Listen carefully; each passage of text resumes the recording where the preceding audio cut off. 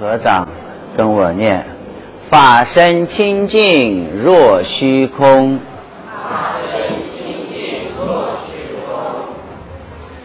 应现随机各不同。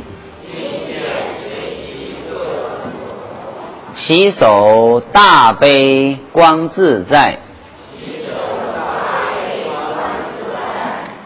反闻闻性正圆通。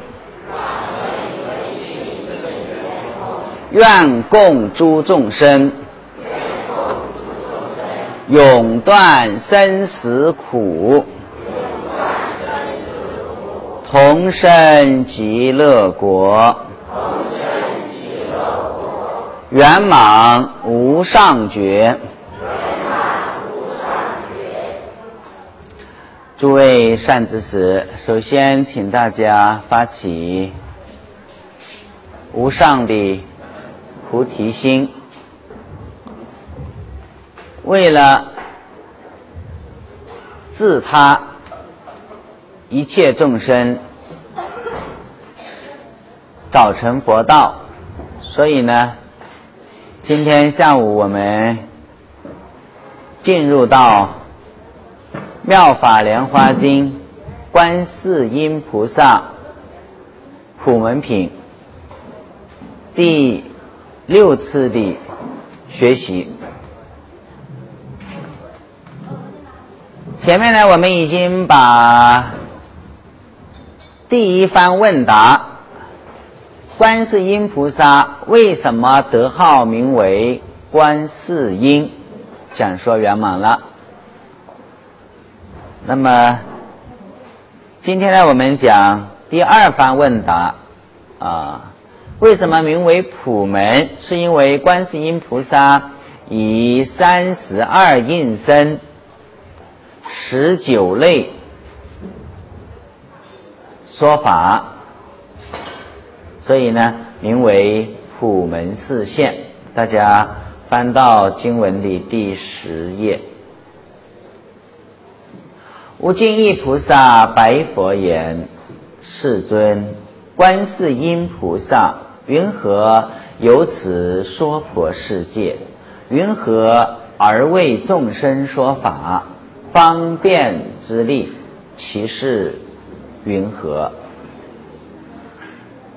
当机请法者，无尽意菩萨再一次站起来向佛请法说：“世尊啊，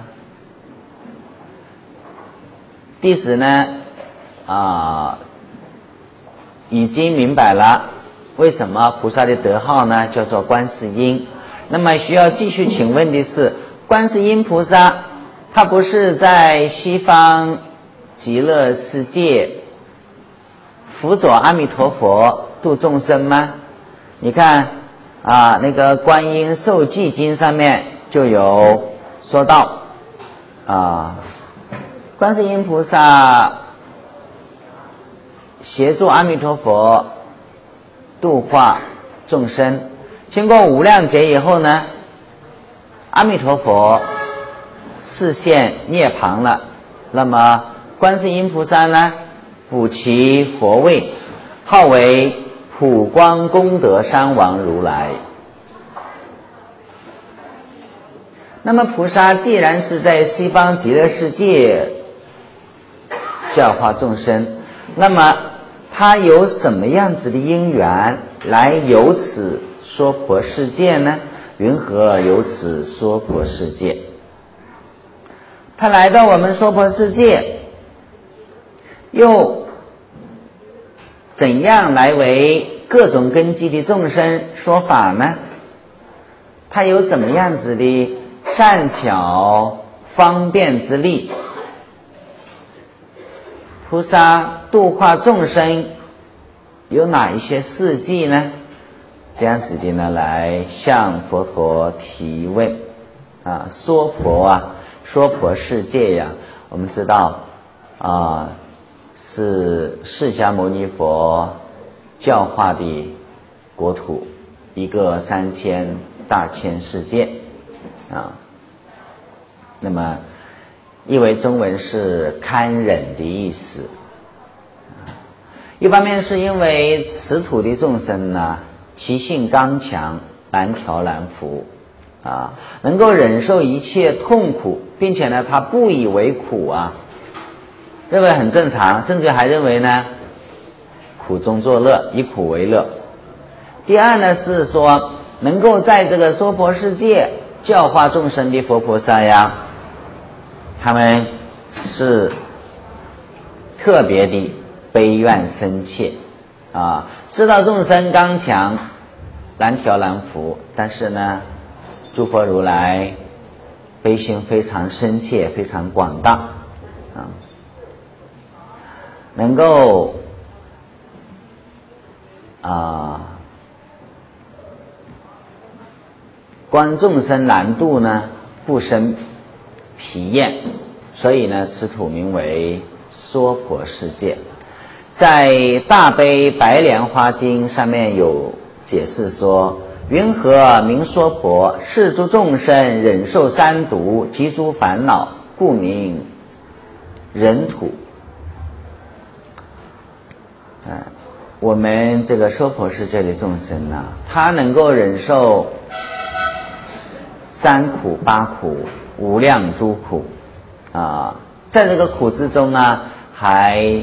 醉生梦死，不以为苦，甚至呢以苦为乐，不想超出生死轮回，所以名为娑婆世界。欲界的众生偏重于苦苦，色界的众生呢偏重于坏苦，无色界众生呢。偏重于行苦啊，有这样子的，来自于生老病死苦、爱别离苦、怨憎会苦、求不得苦、五阴炽盛苦等等无量诸苦呢？众生不觉得苦，习以为常，不想超出生死轮回，所以名为娑婆世界。观世音菩萨，他。有什么样子的因缘来到我们娑婆世界，啊，来到这个苦世界呢？啊，他来以后又怎样子来为众生开示妙法呢？啊，那么其实我们要知道哈，观世音菩萨他来娑婆世界是不来而来，啊，极乐世界的观世音菩萨实际上呢未曾有动。啊好像天上的月亮一样，我们娑婆世界的观世音菩萨呢，犹如千江有水千江月啊，犹如呢千江里面的水月一样啊。观世音菩萨他的法身呢是尽虚空变法界里，我们刚刚所念的法身清净若虚空啊，以法身以空性为体。报身呢，以智慧为体；化身呢，以悲愿为体。那么，娑婆世界的众生有种种的苦难，呃，那么观世音菩萨呢，就化现为无量身，啊，来寻声救苦。所以，这个化身呢，就好像水中的月亮一样。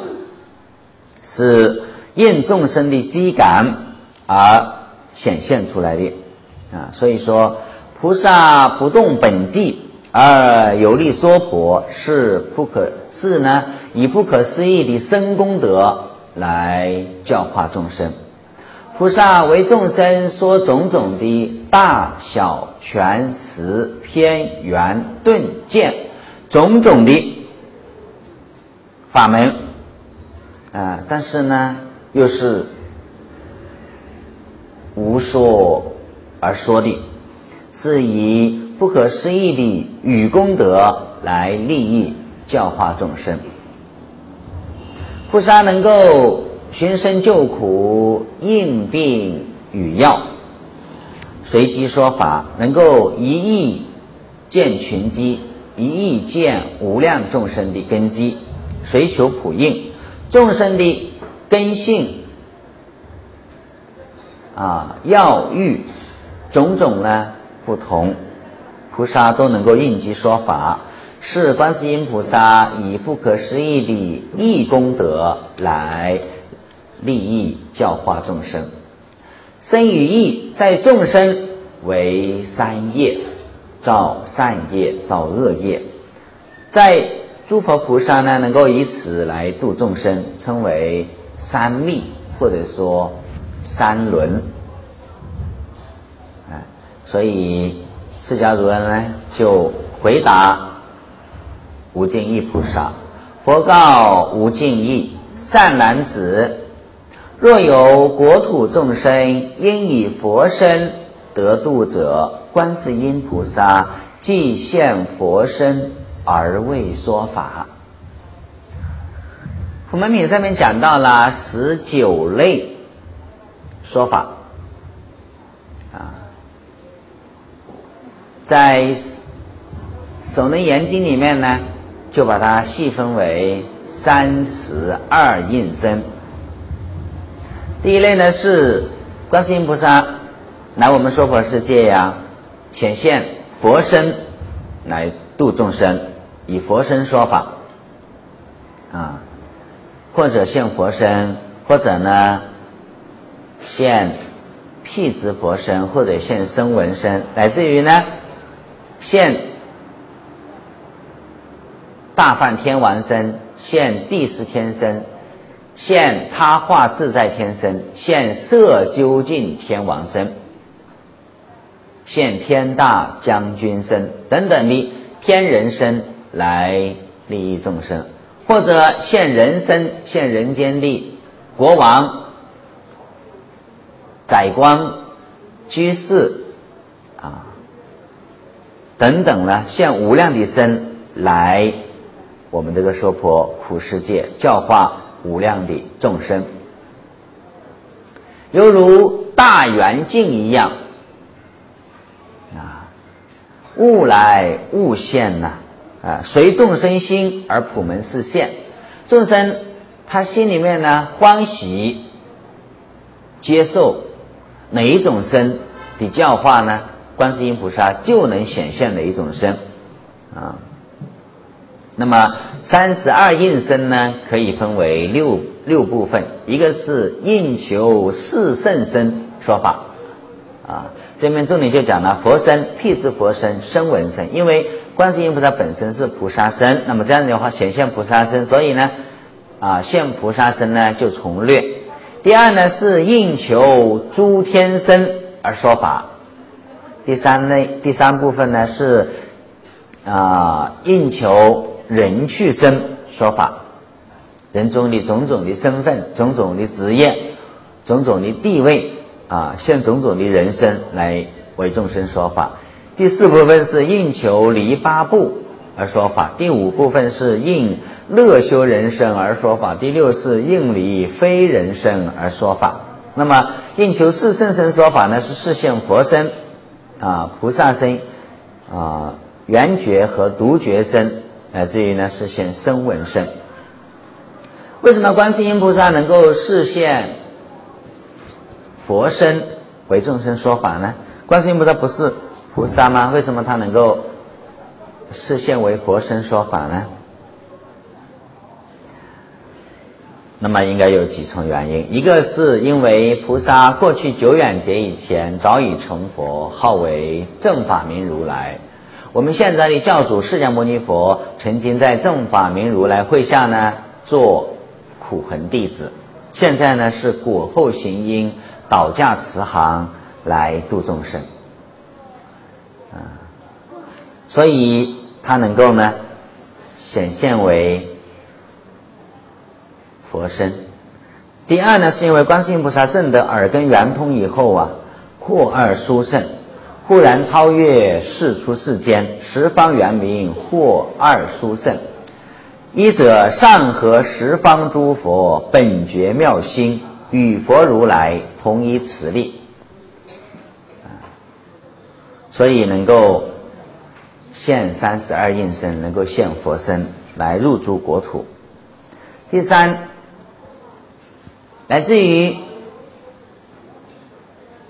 原教的初住菩萨就能够于百界实现八相传道，能够在一百个世界呢实现八相成道成佛。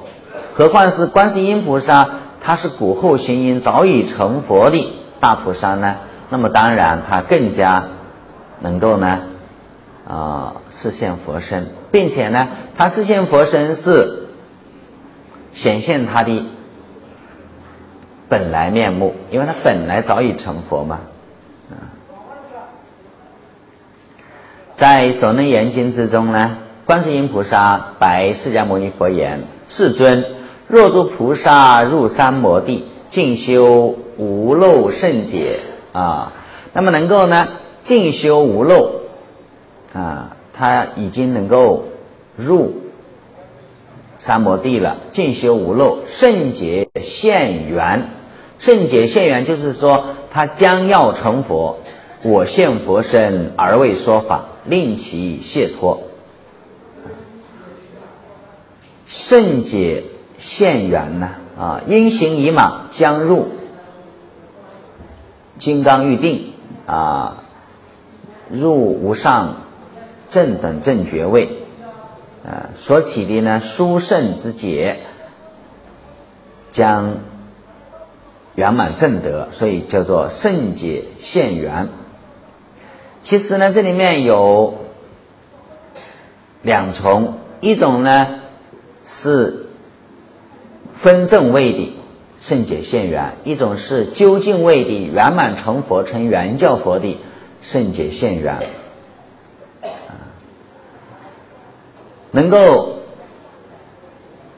对于能够修正到相似即佛位的菩萨。入相似三摩地，进修中道无漏。那么呢，观世音菩萨能够教化他正得分正分正位的圣解现缘。如果是修正到分正即佛位的菩萨，入分正三摩地，进修金刚无漏，啊，将要正得。成佛之前的最后一步金刚预定，那么呢，观世音菩萨教化就能够让他成就究竟圣解现缘。事实上呢，观世音菩萨现种种的身，这个是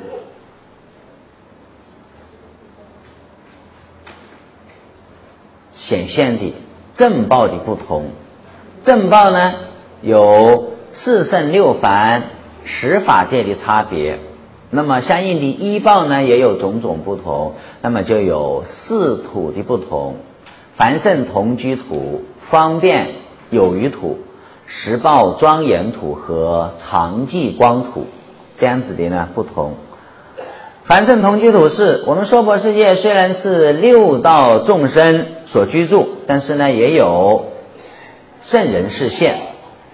啊，比方说四大名山，五台山是文殊师利菩萨教化众生的道场，啊，峨眉山是普贤菩萨利益众生的圣地，普陀山呢是观世音菩萨啊显现了利益众生的圣地，九华山是地藏菩萨的道场，啊，来自于呢。天台山、雁荡山是五百阿罗汉游子的圣地啊。那么，如果我们根基相应呢，就呢能够见菩萨的显现啊。好像原来法王如意宝啊。就曾经在洛罗严库呢亲见文殊，然后自信的心中流露出很多的意浮藏，并且呢，我们这个色界天啊，四禅九天上面的五层天呢，称为五净居天，是圣贤所居住。我们底下讲到那个大自在天呢，会有讲到，来自于化身佛呢，是现在人间成佛；报身佛呢，他一他一定是在色究竟天现净居摩西首罗天子相。接受十方诸佛的灌顶，那么呢，成就圆满报身佛。那么呢，可见啊，这是凡圣同居土。第二呢，是方便有余土。那么，身为圆觉的圣者，他们修四圣谛、十二因缘法，能够断见惑、断思惑。那么这个称为方便啊，凡圣同居土是二圣所居的土，但是呢，他们还有尘沙惑，还有无名惑，所以称为有余，所以称为方便有余土。十报庄严土呢，是法身大士菩萨居住的地方，哎，菩萨修真实因。感真实果，以真实缘感真实报，所以说设法心法依报正报都是非常庄严的、华丽的，所以称为十报庄严土。因为菩萨他能够发菩提心，行菩萨道啊，广修六度万恨，去利益无量众生，所以呢，他感得的。医报正报都是非常庄严的，啊，所以说来自于诸佛成佛道啊都没有离开因果之外呀。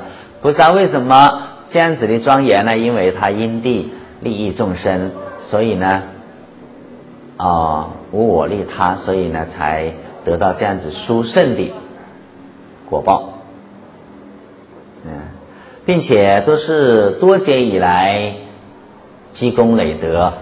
来利益众生，所以呢得大自在啊，并且啊正人作义，一人作正啊，正报能够做医报，医报呢能够做正报啊，一能化多，多能为一啊，神通无碍，所以称为十报庄严土。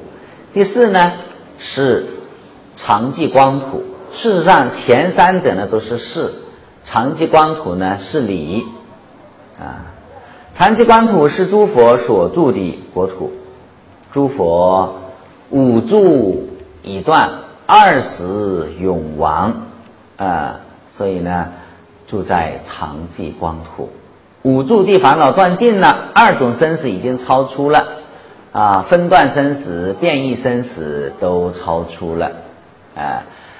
阿罗汉、菩萨啊、圆觉，他们这些呢，都还虽然已经了了分段生死，但是呢，还有一生生呢，还有变异生死啊。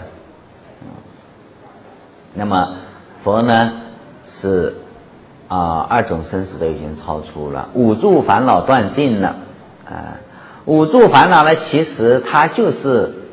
我们所说的见识惑、尘沙惑、无名惑啊，不过呢开遮不同而已啊，是指五种能够生知末烦恼的根本烦恼，我们称为五住地烦恼。第一个是见一处住地烦恼，三界的见惑啊，八十八十见惑啊，在见到的时候呢，断于一处，所以称为。见一处住地烦恼。事实上呢，在小圣来说，这是第一步。你证得出果的时候，证得虚陀还果的时候，就就已经呢，把八十八识见惑啊都断尽了。啊，概括起来呢，就是身见、边见、邪见、见取见，啊，戒尽取见。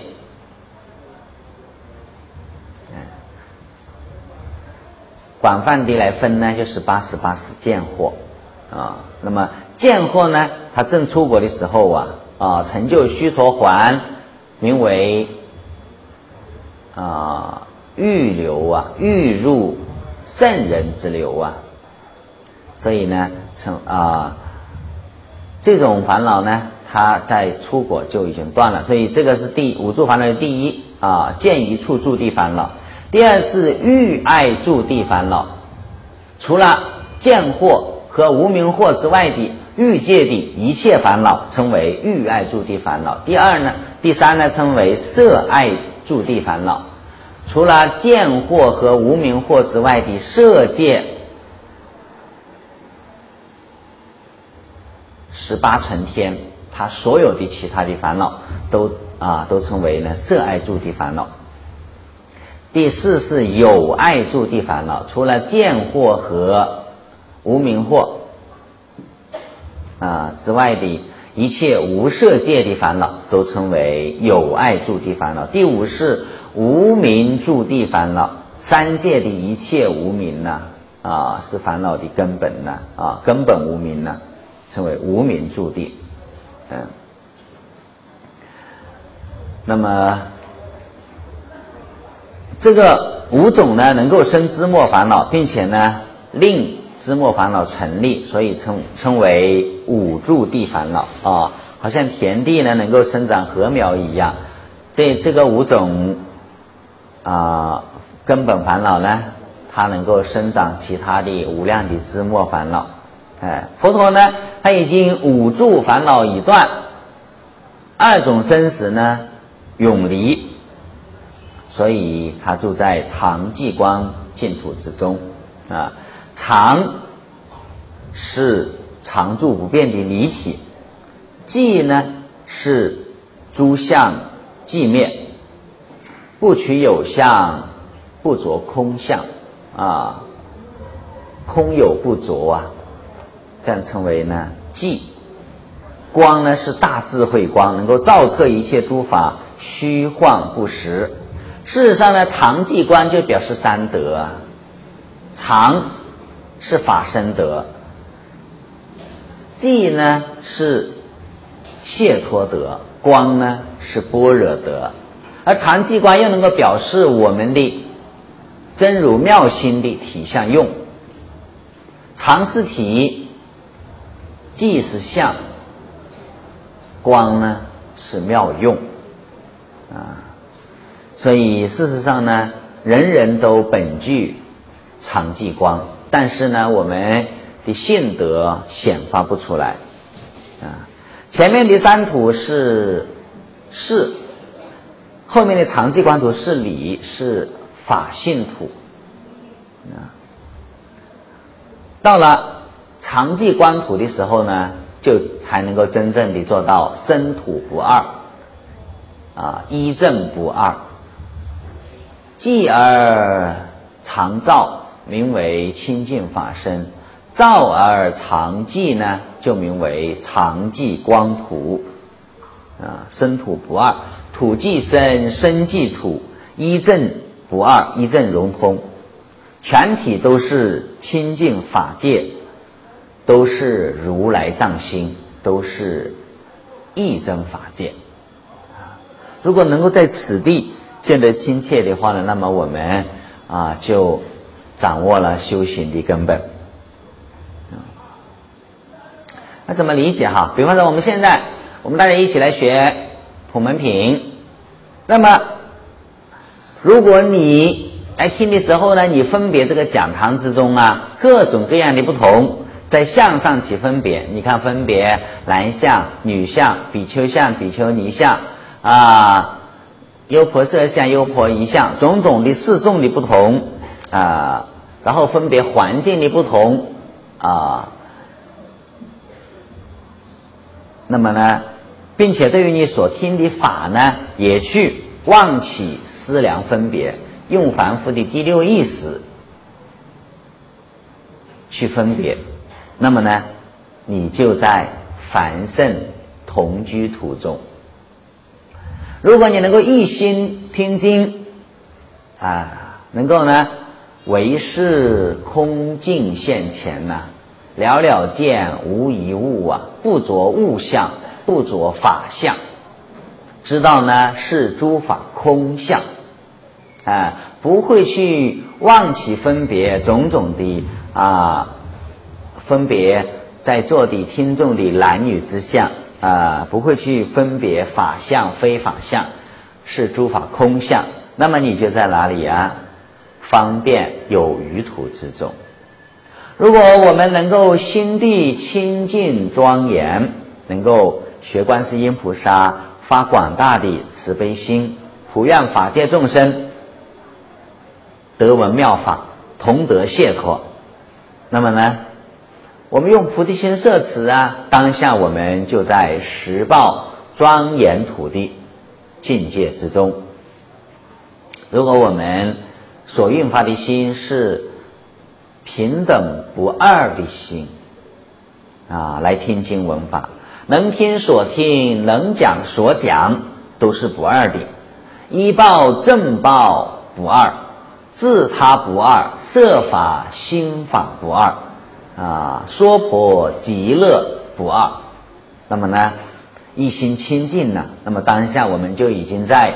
常寂光土地境界之中了，所以你看，就在同一个讲堂之中，仁者见之以为仁，智者见之以为智，这个就是知见不同啊。所以呢，所见到的外境也不同了。所以我们一直强调，要开示悟入佛之知见，才能够进入到。万德庄严的佛境界，我们要通达《妙法莲华经》，知道佛陀出世的大事因缘，是让每一位众生呢都能够开始悟入佛子之间呢啊，所以呢，所见到的境界就各个不同了。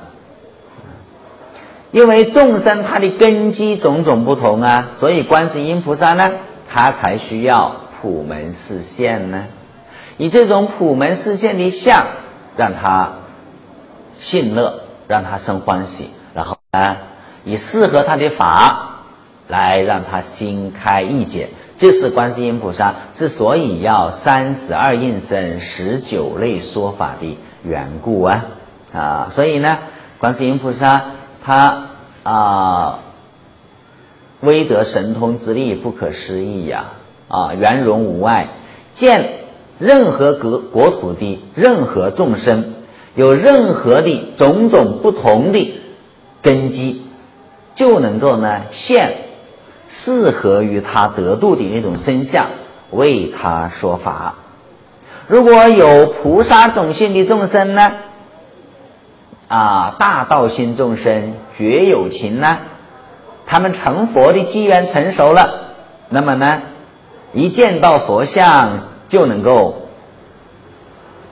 成就他，就能够度脱他，让他迅速圆满成佛的话呢，观世音菩萨就随他的机缘和根器，现佛身为他说成佛的法门，为他说乐空不二的智慧慈悲双运的入金刚玉定的法门，让他呢能够。断尽俱生无名而圆成佛道啊！所以呢，这是说观世音菩萨现佛身为众生说法。其实法身呢是遍一切实处的啊，没有什么形象可得。但是呢，为了度众生之故，就实现佛像。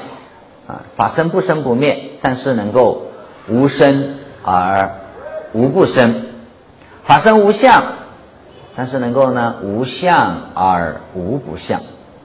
啊，所以观世音菩萨能够随类现身呢，利益众生。啊，呃，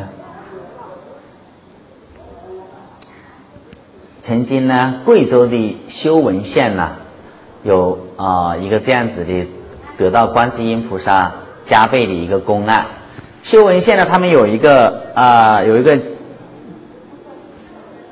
山呢，叫做白洞山。那个那个山洞里面呢，忽然之间呢，就有水银呐流出来啊，所以呢，那个当地老百姓呢进山去砍柴的时候，发现那个洞里面流出水银来，那一传十，十传百呢，大家都去开采那个水银来卖，以此为生。渐渐的，大家觉得那个洞很深又很大，所以呢，为了图方便呢，干脆把家也搬到那个洞里面去住了。所以渐渐的呢，有两百多户啊，都住在那个洞里面，白洞山那个洞里面，都是每一天呢采这个水银去卖来赚钱啊。距离那个白洞山大概有两里地呢，有有一条小溪流，水呢很清澈啊，又比较浅。那么有一有一天呢，突然有一有一位呢啊年轻貌美的女子呢啊就在那个啊那个取下衣服啊，就在那个溪流里面来沐浴啊。那么给那个洞里面住的人看到了，大家觉得哎呀，这个女的是不是精神有点问题啊？那男女老少呢，通通跑出去那，去那个小溪边，想去啊，以好奇心呢去看看是怎么回事。等到这个洞里面的人都走出来了呢，突然之间呢，就听到后面呢很巨大的响声。那么回头一看的时候呢，他们住的那个洞啊，洞顶上的那个石头垮下来了，坍塌了。哎呀，大家觉得好险，哎，因为他们平时都是呢念观世音菩萨的，所以呢大家都异口同声念观世音菩萨啊。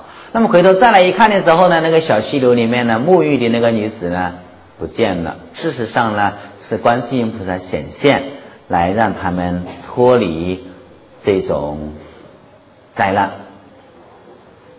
所以大家呢对观世音菩萨信心呢就更够了啊。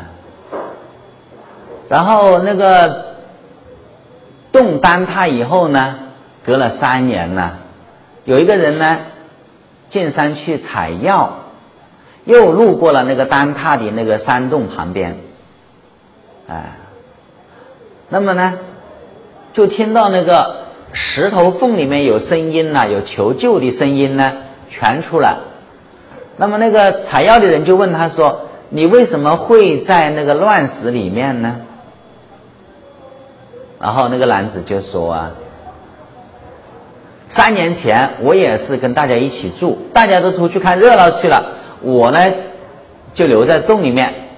那么这个洞塌下来的时候呢，我运气还好。那么这个啊大石头啊，一块石头顶着一块石头呢，所以就有一点缝隙，所以我就没有被压死。但是也出不来，因为那石头太大了，我一个人的力量根本上是移不动的。哎。因为他也是信奉观世音菩萨嘛，所以呢，就在洞里面就念啊观世音菩萨。但是有个问题了，因为呢，那个洞里面只有一点点粮食啊，又出不来啊。那粮食吃完以后怎么办呢？哎，不过水是没有问题，因为洞里面本身就有水流出来嘛，水还是有，但是就没有食物。哎，他还是一心呢归命观世音菩萨，哎。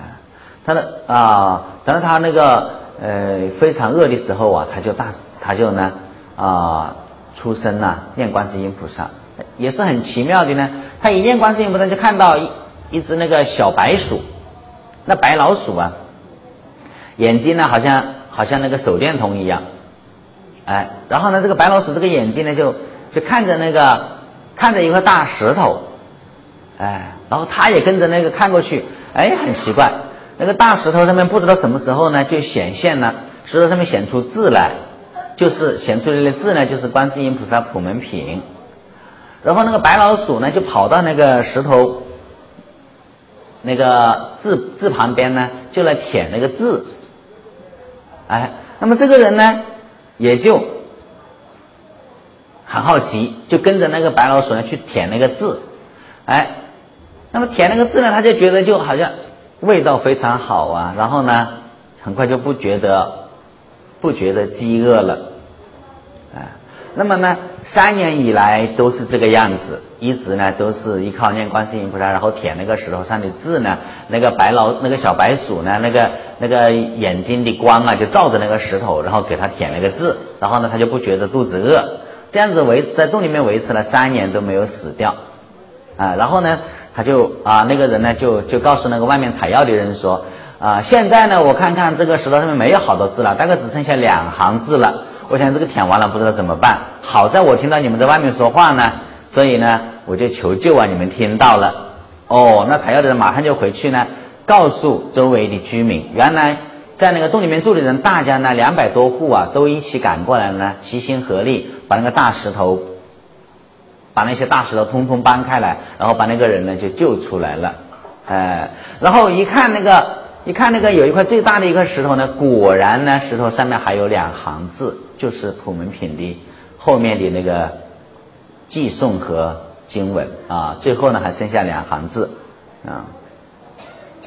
那么呢，呃，这个呢是啊，观世音菩萨呢，他能够示现种种的身呢，来利益教化众生啊。只要我们起心动念呢，菩萨都能够无余的了之。那么。观世音菩萨示现佛身来为众生说法呢，有四教的不同。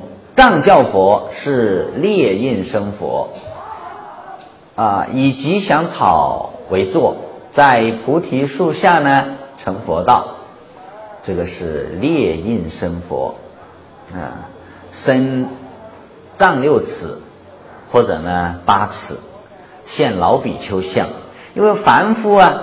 他的心量很狭小啊，所以呢，他只能够见到丈六尺或者八尺身高的佛像，啊，再大了呢，仿佛就见不到啊。第二是通教佛，是代列圣印生佛，身啊身量是能大能小啊，因为通教根基的人呢。它的根性很融通，所以呢能大能小。第三是别教佛，别教佛其实就是圆满报身佛啊，圆满报身卢舍洛佛啊，以智慧为体。第四是圆教佛，就是法身佛，毗卢遮洛佛，遍一切实处法身。啊，法身佛以虚空为座，清净本然，周遍法界。啊，所以藏教佛呢，它以真空为体，以悲愿为体，是应化佛；别教佛以妙有为体，是报身佛。啊，藏通教呢，藏教通教佛呢，都是以真空为体的，啊，是应化身的佛；别教佛呢，是。啊，以妙有为体，报生佛；圆教佛是以中道为体，是法生佛。用比方来说明，法生佛好像天上的月亮一样，呃，那么呢，报生佛呢，好像月光一样，化生佛呢，好像水中的月亮一样，啊，这是观世音菩萨呢现。佛身而度众生，度菩萨根性的众生。然后接下来是因以辟之佛身得度者，即现辟之佛身而为说法。本来应该是说完佛以后应该说菩萨呀，但是呢，观世音菩萨本本身显现是菩萨，所以就从略。接下来就说啊，辟之佛。本来辟之佛呢，它的全称是。辟支迦罗佛陀，辟支迦罗佛陀就是因缘觉啊，生在有佛出世的时候，禀受佛陀的十二因缘教法，从生灭的因缘悟不生不灭的真空离体，称为缘觉。生在没有佛出世的时候呢，又不曾闻经听法，独自的住在深山茅棚里面修道。春光百花开，秋见黄叶落。所以呢，知道世间的万法呀，都是因缘和合而生因缘散灭而坏。进一步呢，思维啊，能够呢顺观生死，逆观还灭，能够呢悟到自性是无生亦无灭的，无师自通而开悟，所以称为独觉。如果有众生，他应该以十二因缘法而成就。观世音菩萨就示现辟支佛身而为说法啊！大家应该十二因缘听得多了哈。无名缘恒，恒缘识，识缘名色，名色缘六入，六入缘触，触缘受，受缘爱，爱缘取，取缘有，有缘生，生缘老死忧悲苦恼。哎。那么呢，这是顺观生死啊，啊，逆观呢，缓灭啊。那么事实上呢，十二因缘之中呢，又包括了三世因果。无名缘恒，这是过去世的因啊，过去过去式的呢两只因啊，十名色六入触受。这个是现在式的五之果，爱取有，这个是现在式的呢三之因，生老死，这是未来式的呢两之果，所以呢过现未来三世呢就在其中了啊。那么无名是指无始的烦恼。有些人说这个无名从哪里来呀？他不知道无名从哪里来。其实你现前一念不绝，这个就是无名了，无名就显现了。无始无名从哪里来？佛法里面说哈，没有第一因啊，所以一定好像一个圆一样，每一个点都可以是起点，也可以是终点，哎。那么呢，无始无明从哪里来呢？大佛典首能研究上面有开始说：“知见立知，即无明本啊。我们的本性，我们的本觉本来就是明，但是呢，我们如果起一个妄念，我们要去了解，要去知道这个本来明的本性本觉，这个就是无明。因为有了能所，有了有了对立呀，有了能知，有了能能知的我和所知的。”本觉这个就是无名了，有了能所对立，就有生死了，啊，所以说知见立知即无名本了，在知见上面去安立一个知，头上安头，画蛇添足，所以呢，即无名本，啊，本觉它本来就是明，不需要我们去明了它，啊，这个是我们无名的根源呢，啊。那么无名缘痕，因为无名呢，所以前身啊就会去造种种的善恶业的行为，造种种的善恶业。这个呢就是无名缘痕，这个两字呢是过去的祸业二因啊。恒缘时就是今生了，今生时呢，阿赖就是。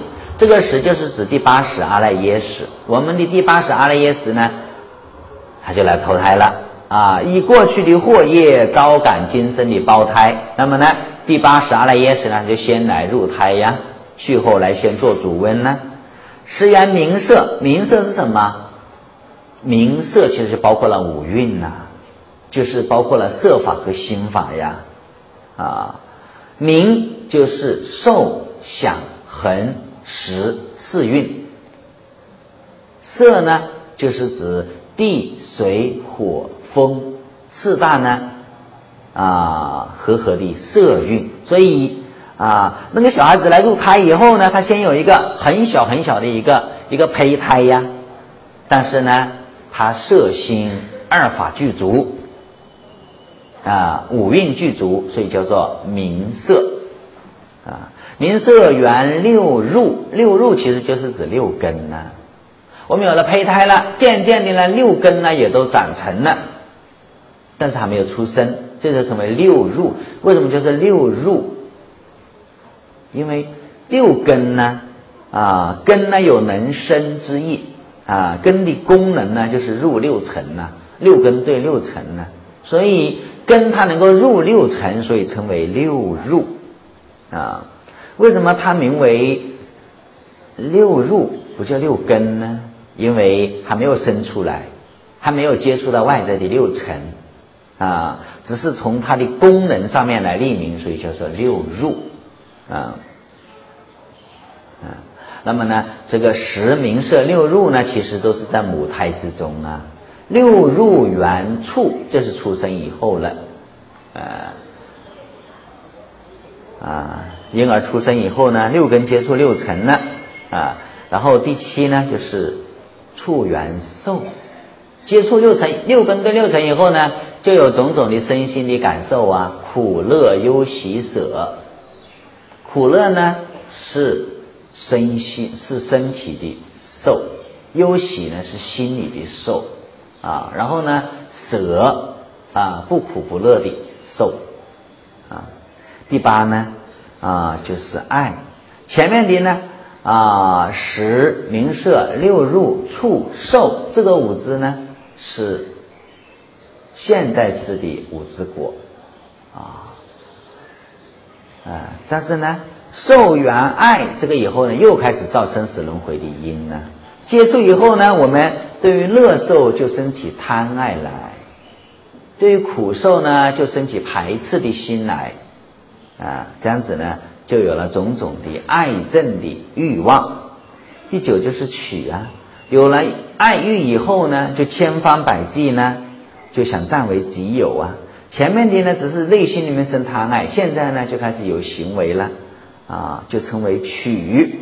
第十呢就是有啊，你取了就有啊，那么呢，取了以后呢就有结果啊。你想做一件事情，那做成了。那么这个就是有啊，好像啊，爱欲呢有啊有取有取后就有有啊有呢就是有了将来轮回的种子啊啊，好像男女的婚嫁呀，这种种的染业呢就造出来了，它能够招感来生之果，所以称为有啊有轮回。那么爱取有呢是今生今世。所造的因，所造的未来流转生死的因，啊，然后第啊十一支呢，就是生，就是来有来生呢，将来呢再一次的轮回就开始了，一直啊第十二支就是老死，有了生就一定有衰老，然后有走向死亡啊，那么这是未来的两支果，这样子的话呢，我们略简略的说十二因缘法啊。那么这是顺观生死，逆观还灭。如果十二因缘之中呢，你能够斩断其中任何一条链条，那么整个的呢生死轮回就可以斩断。啊，事实上呢，比较容易断的呢是三支，就是断取、断爱、断无名。啊，我们要。持清净戒，不妄取，这个呢是修戒无漏学。但是呢，这是下等根基的，啊，中等根基的呢，他不要等到妄取的时候了，他在那个心里面啊产生爱憎的时候呢，就知道修啊，就能够修定无漏学。所以呢。啊，就断爱啊，不会起爱憎分别，当然就不会不会有妄取妄舍啊。有取舍就有轮回呀，不取不舍呢，即是见性成佛道啊。上等根基的人呢，他知道要断无明啊，断无明啊。修慧无漏学，啊，能够呢超出生死轮回，啊，事实上呢，修十二因缘法而成就的圆觉呢，它的地位比阿罗汉要高。为什么？虽然他们都是断尽见惑思惑，但是呢，阿罗汉断了见识惑以后，还有习气在。圆觉呢，连那个习气也断掉，它好像一个装酒的瓶子啊。阿罗汉呢，他只是把这个酒倒掉了，但是呢，空瓶子里面还有酒气。圆觉呢，他就是不但把这个酒倒掉，而且呢。把那个空瓶子里面的酒的气味呢也消除掉了，所以它的地位呢比阿罗汉要高，不单单是断见识后，还断习气啊。那么观世音菩萨呢，他会视现为圆觉相啊，视现为圣身相啊，贤圣生宝的形象呢，来利益众生。这个在中国的二十五史上面呢有很多的记载啊，你看那个《齐书》《梁书》啊《南史》上面都有都有记载这些，还有呢那个《旧唐书》上面都有一些正史上面都有记载，观世音菩萨呢化现为贤圣生宝来利益众生呢。比较著名的，比方说南北朝时候南朝的。宋齐梁陈呐，啊，梁武帝时候的国师宝智禅师，他就是观世音菩萨的化现。唐朝时候呢，有一位四周大圣，四周生前大圣呢，他在安徽的四周啊显现。哎，那么呢，后来到了京师啊，也有很多的神异的事迹，都是观世音菩萨的呢化现啊。我们呃现在呢都可以去到那个啊拜到那个四周大圣塔啊，我们去那个四川那个重庆呐大足石刻，大足石刻里呢它就有宝智禅师的啊雕刻的石像，以前的人不知道，以前的人他不不太懂佛法呀，他看到有一个好像像一个出家人的样子，然后呢。拿一个锡杖，但是锡杖上面的话呢，挂一把剪刀，挂一啊挂一根尺啊，那个裁缝做衣服量的那个尺啊，挂一根尺，然后挂一把拂尘。他们那个世间的世间的那些专家，他不懂这个，他说：“哎呀，这个是个什么啊？怎么有又一根又有一根尺，又一把剪刀呢？啊，看不懂。”他就给他立个名字呢，就说那个是鲁班，鲁班的那个石刻像。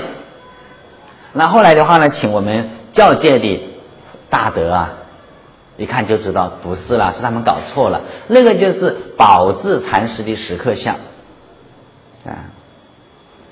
宝智禅师他为什么他是显显这么一个像呢？事实上呢，宝智禅师啊啊，他是。南啊，南朝那个时候的一位大德，观世音菩萨的化现嘛，俗姓朱，啊，呃，显现了很多的啊一些神异的一些事迹啊，比方说他曾经为那个昭明太子啊洗眼睛。我们到浙江去看到有那个昭明太子读书台啊，昭明太子很很用功读书啊，他曾经编过一些古文呐，编了一个文选呐，啊，他眼睛就不好，差不多要失眠了。看不见了啊，差不多要啊要失明看不见了。那么这种人就求宝智禅师，宝智禅师呢就拿一杯水让他洗眼睛，哎，这眼睛很快就好了。然后的话呢，比以前还要更明亮啊。那么呢，他洗目的那个地方呢，现在就是现在的浙江的天目山。所以现在我们去浙江有知道有东天目山、西天目山，就是。宝智国师呢，曾经为昭明太子洗眼睛的地方啊。这个天目山的名字呢，也是因为啊，宝智禅师为太子洗眼睛而得名的。嗯，我们都很熟悉的，我们现在拜的梁皇忏啊，是梁武帝为了超度他的皇后啊，西施皇后啊，免堕蟒蛇之身，所以呢，就请求宝智禅师。主持啊，召集全国的大德来汇编，就造了这个忏法，并且呢，以后呢就成就了我们后世呢非常盛行的水陆法会，并且呢，宝智禅师啊，他有很多的那个预言呢，称为谶言呢，啊，他留下了很多的预言啊，后来很多很多朝代呢怎么发展，什么变化，他的预言中间呢都有开示我们啊。宝智禅师他经常一走出去呢，手里面就拿一根锡杖，锡杖上面的话呢就挂一把剪刀，挂一把尺子，挂一挂一条浮尘。其实呢，后来我们才明白，哦，原来宝智禅师他他这个拿这个法器啊，他是表示什么？他是表示已经在很隐很隐秘的开示我们南朝啊王庭的变化，朝代的更替。剪刀是干什么？剪旗呀，送旗梁陈呐。这表示齐齐朝啊，池子是干什么？是量东西呀，这表示梁朝啊。浮尘是干什么？浮掉灰尘呢，它表示陈朝啊。啊，也就是说，哎，齐朝会取代宋啊，那个是南朝的宋了哈，宋齐梁陈的宋了啊。刘裕所开创的那个刘宋了啊。那么呢，梁朝呢？会取代齐，陈朝呢会取代梁，所以呢，宋齐梁陈啊，这个南朝的更替呀，宝智禅师呢他就已经啊，以以以他这个动作呢，开始给我们知道了啊，所以后世的人呢对他很赞叹啊，宝智禅师他对后世的很多预言呢都很准确。所以，他的画像呢，传到唐朝的时候啊，诗仙李白呢就做了一首象赞啊，最后两句呢就是“刀此齐梁，善弥成雨”。